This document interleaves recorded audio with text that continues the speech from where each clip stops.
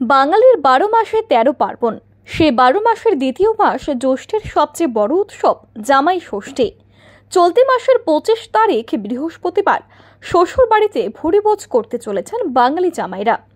নানাবিধ ফল, মাছ, মাংস, রসগোল্লা, মিষ্টি দইয়ের পাশাপাশি জামাই ষষ্ঠীর বাঙালি ভুরি বোঝের অন্যতম বিশেষ আকর্ষণ ইলিশ মাছ। প্রতিবারের মতো এবারেও রাজধানী আগরতলার বাজারে যথেষ্ট চাহিদা রয়েছে।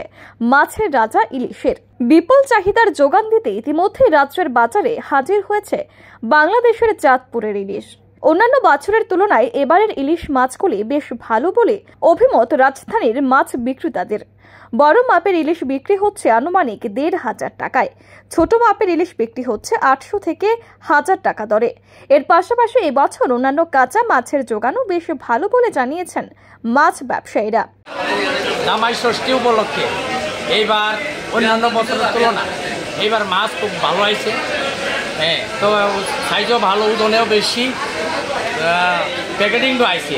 প্যাকেটিংটা আইছে আপনার কলা পাতা। কলা পাতার প্যাকেটিংটা এক কেজি দুইশো, তিনশো, এরম ওজনের আইছে। মানে এটা সুপার আর কি, একদম সুপার মাছ আইছে। কাঁচাও আইছে, ঢুকছে। কাঁচা মাছও আইছে মানে কেজি দুইশো, আড়াইশো, এরম ওজনের মাছও আইছে। জামাইরা এবার? এবার জামাই জামাইরা এবার মোটামুটি ভালোই। হ্যাঁ শ্বশুররা নিব। এবার ইলিশ মাছ, দামও মোটামুটি ভালোই থাকব। কীরকম রেট আছে এবং কোথাকার বাংলাদেশ থেকে কোথাকার থেকে কেজি এক কেজি দুইশো আড়াইশো কেজি থাকব পনেরোশো টাকা। আর নয়শো থেকে কেজি এটা থাকব বারোশো টাকা। আর বারোশো থেকে যে দিয়ে আছে আপনি মনে করেন চোদ্দোশো পনেরোশো দিয়ে থাকব আপনার পনেরোশো টাকা। চাহিদা কীরকম? চাহিদা ভালো চাহিদা। খুব ভালো চাহিদা মাছও ভালো হয়েছে এবার।